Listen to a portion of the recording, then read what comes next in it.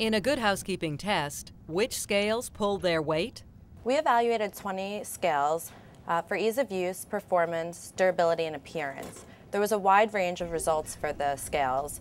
For the most part, the digital scales were found to be much easier to read and more precise with the readouts. Several of the consumers didn't like this Conair model for the platform. They found it wobbly when they stood on it and weren't able to be balanced. But another Conair scale, the thinner chrome, was Good Housekeeping's overall winner. When they stood on it, it gave a pretty rapid result, and it was very easy to read. For the ultimate in style, Good Housekeeping recommends the Salter Glass Lithium Scale, which was also very accurate. The blue lit numbers were quite pretty and it's just sort of very sleek design. This LifeSource wireless precision scale was the most accurate to within a tenth of a pound.